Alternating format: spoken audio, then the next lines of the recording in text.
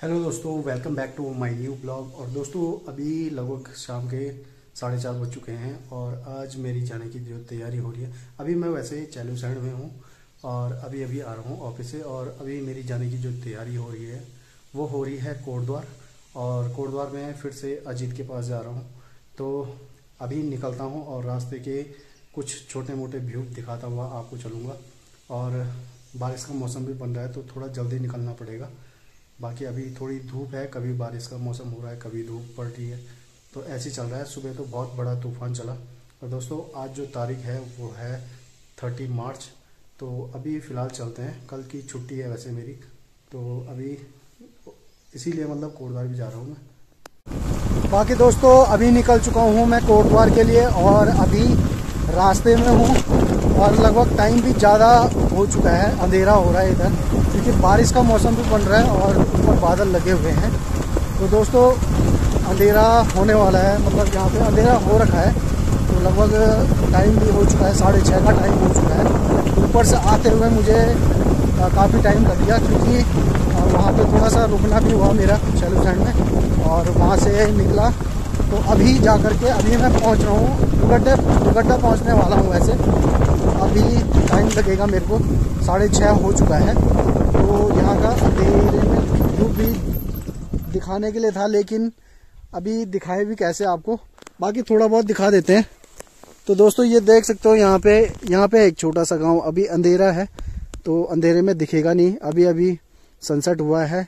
बादल लगे हुए थे, बारिश का मौसम था, सुबह भी और अभी शाम का भी।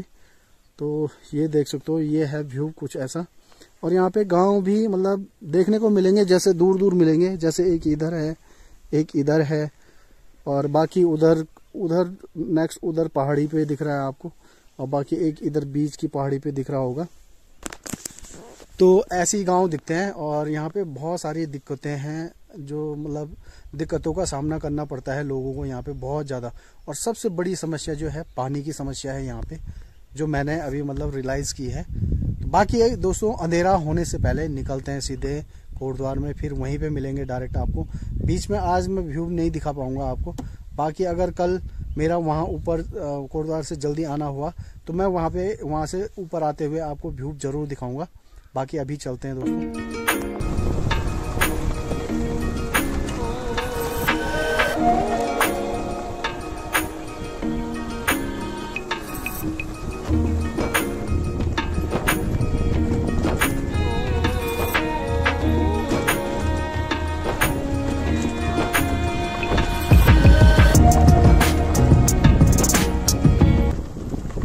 दोस्तों, देख सकते हो क्या नज़ारा है बीच रास्ते का।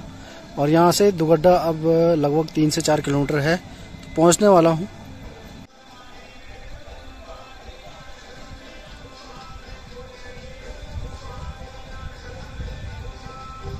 बाकी दोस्तों, दुगड्डा पहुँचने वाला हूँ और दुगड्डा यहाँ से चार किलोमीटर दूर है। बाकी दोस्तों, यहाँ का नज़ारा आप देख सकते हो, बहुत ही शानदार है। और डीजे वगैरह भी चल रहे हैं तो कुछ फ़ंक्शन वगैरह भी चल रहा है सामने। तो व्यू दिखा देता हूँ आपको। तो फाइनली दोस्तों कोटद्वार में पहुँच चुका हूँ और कोटद्वार में देखिए फिर से अपना वही रूम जहाँ पहले थे और वही अजीत। और अजीत तेरे क्या हाल हो रहे हैं आजकल? सर ये देखो पूरे हाल बन गया हाँ। बहुत जल्दी ऐसे कपड़ों में हम बहुत जल्दी आने वाले हैं। और अच्छा लगा फिर आप हमारे रूम में आ गए हमारी कुटिया में आ गए। और बहुत दिनों के बाद मिल रहे हैं और अभी सर हमारे बहुत अच्छी मतलब खूबसूरत वादियों में जा रखे थे और इतनी ठंडी ठंडी इलाकों में जा रखे थे। और यहाँ हमारी गर्मी से हालत खराब हो रही है। ऐसे नसीब वालों को मिलता है ऐसी जगह मिलने के लिए सर में आज तो बहुत भयंकर बारिश हुई सच में। है? पता है? वहाँ। अरे तूफ़ान ऐसा तूफ़ान चल गया ना। पक्का।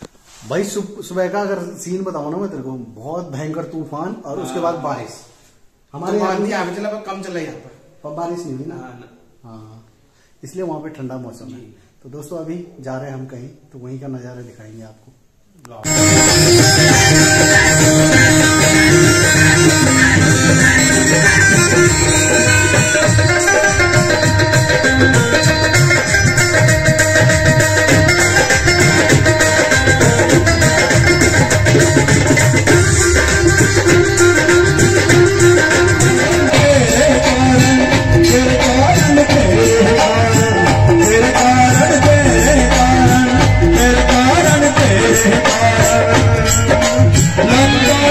जल गई, मिट्टी में मिल गई, ओ नंदा जब जल गई, मिट्टी में मिल गई। सीता हरण गए राम जाओ सीता मिल गई, प्यार से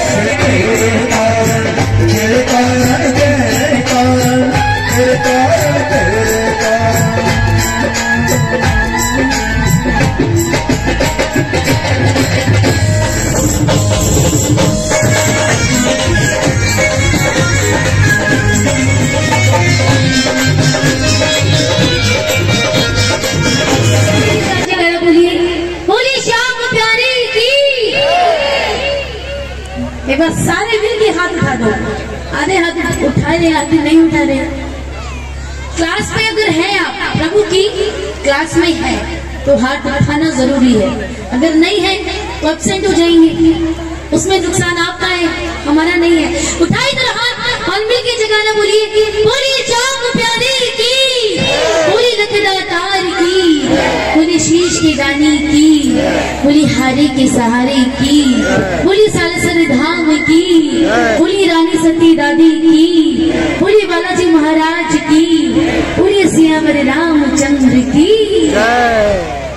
आएगा प्रभु का गुणगान शुरू करते हैं। और हम लोग सोनी सिस्टर्स दिल्ली से दिल्ली से चल करके आज प्रभु को उत्तराखंड की भूमि पर पहली बार पहली बार कोट द्वार कोट द्वार में पहली बार हम लोग बाबा का गुणगान करने आए हैं।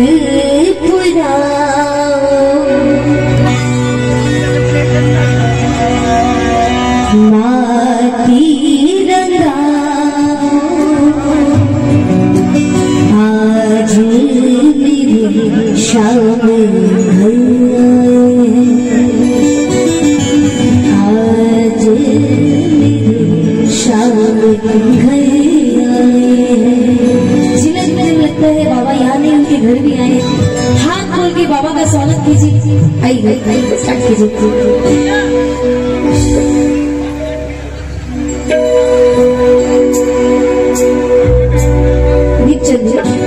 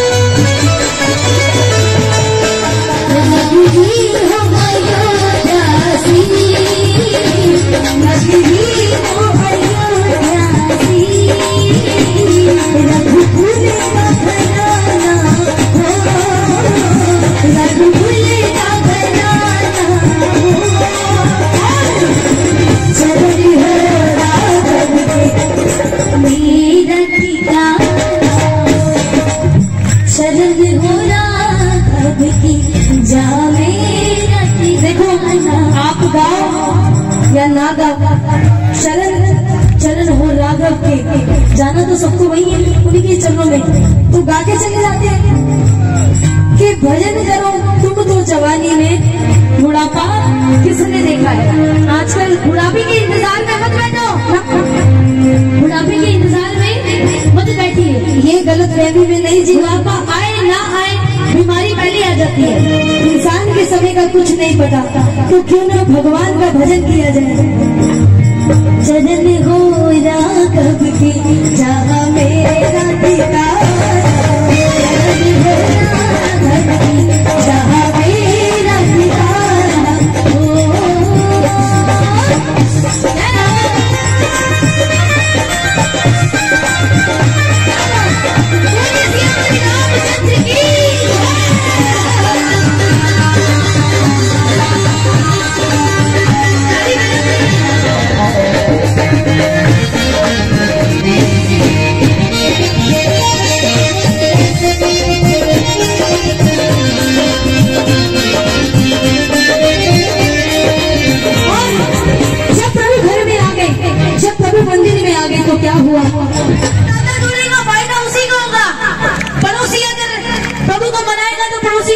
देंगे मेरे बाबा। हाँ जब आपको नहीं मिलेगा तो दिल भी तो आपका दुखेगा।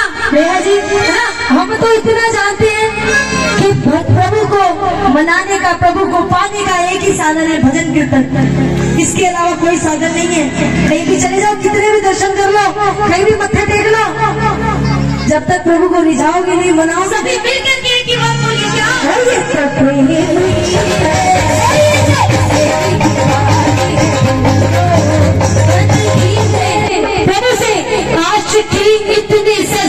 से